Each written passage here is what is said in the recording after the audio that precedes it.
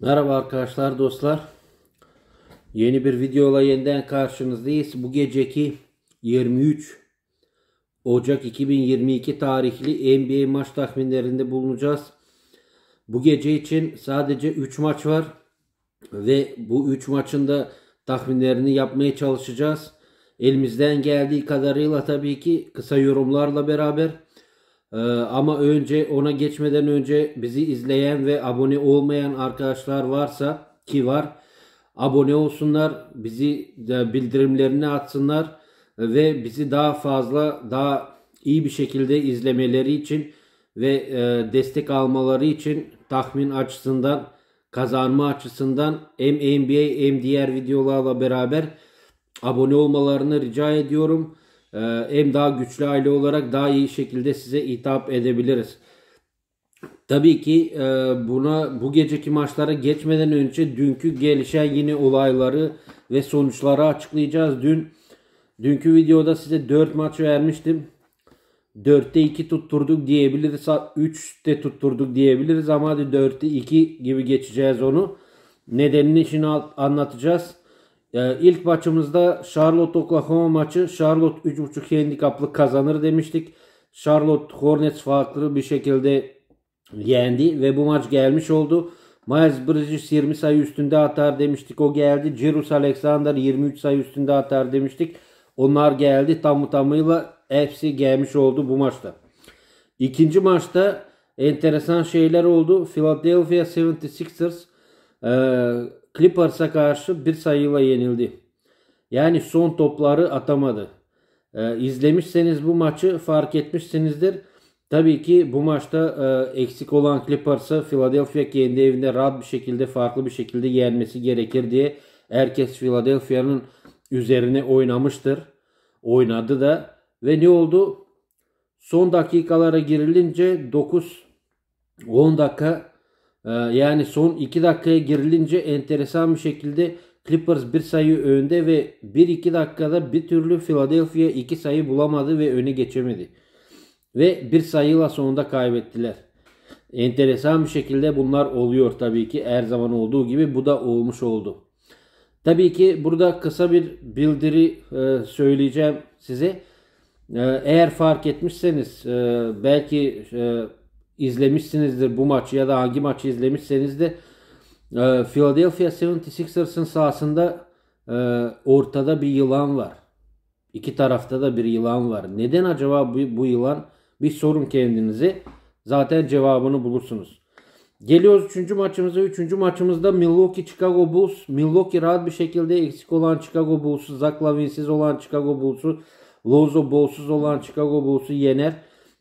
Tabii ki orada DeRozan etkisi e, olacaktır. Antetokounmpo da fazla sayı atar demiştik. E, evet zor bir şekilde olsa bile 4 sayı farkla 3.5 handikaplı Milwaukee yener demiştik. Onlar da tam 4 sayı farkla zor bir şekilde yendiler. 1.40 oranından bu maçımız gelmiş oldu. Ama aslında daha farklı bitebilecek bir maçtı. Enteresan bir şekilde de Antetokounmpo sadece 30 sayıda kaldı. Yani 31'in 30'un üstüne çıkmadı. Tam da baremi 30 iken o da tam da 30 sayıda kaldı. Tabi bu da enteresan bir olay olmuştu. Geliyoruz son maça Golden State Warriors Houston Rockets maçında. Bu kez Golden State Warriors artık e, e, enteresan Indiana maçından sonra bu kez kazanacaktır. Farklı bir şekilde kazanacaktır diye öngörüler vardı. Herkes de ee, artık patlayacak, kazanacak Golden State Warriors farklı bir şekilde diye oynadılar. Evet kazandı Golden State Warriors ama nasıl kazandı? Steph Curry'nin son topuyla kazandı. Sadece 2 sayı fark. Tabii ki burada handikapı yemiş oldular ve bu gelmeyen maçlar arasındaydı. Çünkü biz en azından 3.5 handikaplı yani en azından 4 sayı farkla kazanacaklar diye öngörmüştük. Aslında daha farklı bir şekilde de kazanmaları bekleniyordu. Kim ne handikap oynamışsa bilmiyorum ama son topla bu maçı kazandılar zar zor diye. Ee, o da handikapsız olarak yani handikapı yemiş oldular. Sonuçta 4'te 2 tutturduk ve bu akşamki maçlara e, geçiyoruz. Tabii ki bunlara biraz daha ayrıntılı de, değiniyorum ki e, sistemleri anlamanız için arkadaşlar. Şimdi geliyoruz e, bir diğer maça. Bu geceki maçlarda 23 Ocak e, NBA maçlarında 3 tane maç var. 3'ünün de yorumuyla e, tahminiyle birlikte karşınızdayız. İlk maçımız Milwaukee Bucks yine Sacramento Kings karşısında. Milwaukee Bucks ister istemez biraz yorgun olacaktır. Bu maçta da yani Antetokounmpo dinlendirilecek gibi haberler var. O kesin değil daha hala ama dinlendirilse eğer dinlendirilecekse ki e, öyle gözüküyor şimdilik. E, burada size tavsiyem ne olacak? Tabii ki herkes yine Milwaukee'nin galibiyetini bekliyor. Ama burada size tavsiyem daha yüksek orandan artı 9.5 handikaplı Sacramento'nun galibiyetini almak. Yani 10 sayı fark Sacramento en azından yemez. Yani yenilse bile 4-5 sayı farkla yenilir. Yani 10 sayı farkla yenilmez. Hazır Antetokounmpo dinlendirildiği günde bunu oynamanızı tavsiye ederim. Hatta burada Sacramento direkt olarak da yenebilir bu maçı. Sürpriz olarak oynamak isteyen Sacramento'nun galibiyetini alabilir. Ama ben daha sağlam olarak size bunu öneriyorum. E, artı 9.5 handikaplı Sacramento'nun galibiyeti 1.70 oran. Yani en az bir 10 sayı fark Sacramento en azından yemez. Artı 9.5'la. Bu ilk maçımız oluyor. Tabii ki oyuncu yüz baremlerinde Milwaukee'de e, Antetokounmpo oynamayacak. Chris Middleton'ın fazla sayı atması gerekecek bu maçta. 24 sayı Chris Middleton'ın üstünde alabilirsiniz. Ve Sacramento'da ise Richard Holmes. Richard Holmes'un 9 sayı üstünde atmasını en az bir 10 sayı atmasını oynayabilirsiniz bu maçta. Hazır Antetokounmpo'nun eksikliğinde o da pot altından bulacak e, fazla sayılar bulmayı biliyor ve pot altına fazla sayılar atacaktır. Onun da 9 sayı üstünü alabilirsiniz. Geliyoruz ikinci maçımıza. İkinci maçımız Cleveland Oklahoma City maçı. Burada tabii ki Oklahoma dün e, Charlotte'a farklı bir şekilde yenildi. Cirus Alexander formunu yine gösterdi. İyi bir şekilde oynuyor.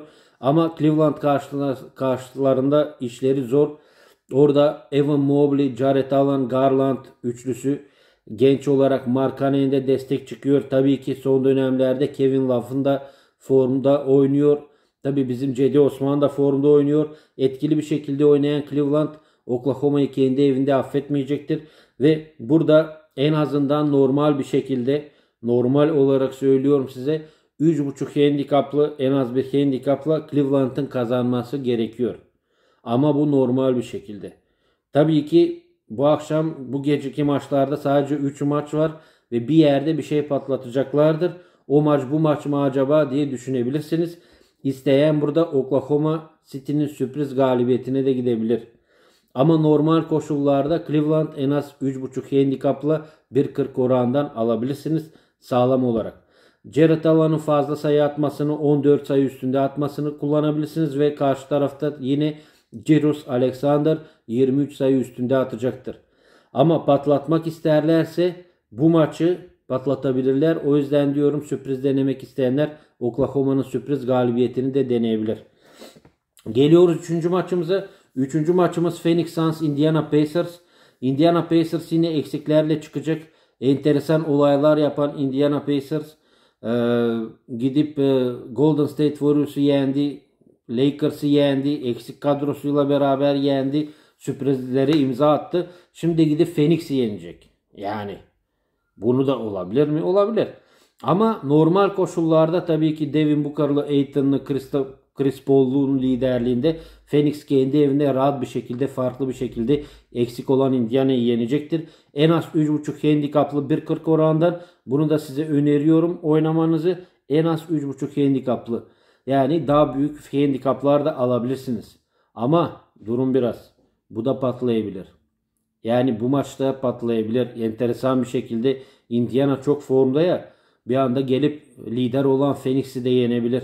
O yüzden isteyenler burada sürpriz olarak diyorum yine Indiana'nın galibiyetini de deneyebilir yüksek oranda. Ama normal koşullarda Phoenix'in farklı kazanması lazım. Burada tabii ki Devin Booker'ın 26 sayı üstünü oynayabilirsiniz. Aynı şekilde karşı tarafta da Chris Duarte'nin üstünü alabilirsiniz. Ee, bu eksiklikler e, olduğu zaman tabii ki Chris Duarte kalıyor orada daha etkili bir şekilde daha fazla sayı üretmesini ondan bekleniyor. Ama dediğim gibi sağlam olarak Phoenix'in galibiyetini 3.5 handikaplı en az 1.40 orandan alabilirsiniz. Böyle yaptığımız 3 tahminden sonra öne çıkartacağımız ikili tabii ki Cleveland Oklahoma City maçında Cleveland'ın 3.5 handikaplı galibiyeti 1.40 oran ve Phoenix Indiana maçında yok artık Indiana Phoenix'i de yener mi diye düşünüyoruz ama onun da 3.5 handikaplı 1.40 orandan Phoenix'in en azından kendi evinde yenmesi Indiana'yı. Ama sürpriz aramak isteyenler örnek olarak söylüyorum. Ya Oklahoma City'den sürpriz ya da Indiana'dan tekrar bir sürpriz denemesi alabilirler. Ama büyük bir ihtimalle Indiana'ya vermeyecekler sürprizi artık Oklahoma'yı denemenizi öneririm yüksek oranda. Herkese bol şanslar. Bu geceki videomuz da böyleydi. Herkese başarılar, iyi kazançlar arkadaşlar. Biz izlemeye devam edin. Destek olmaya devam edin. Biz de size elimizden geldiği kadar destek olmaya çalışacağız. Bazı olayların ne şekilde döndüğünü de yavaş yavaş izah etmek anlamında bu tür yorumlarda da bulunuyorum. Tabii ki riskler size aittir. Ama biz önerilerde bu şekilde oynuyoruz. Bu şekilde öneriyoruz. Sağlam oynamak isteyenler bu şekilde oynuyor. Ama arada sürpriz denemeleri de yapabilirsiniz. Herkese bol şans, iyi kazançlar. Hoşçakalın.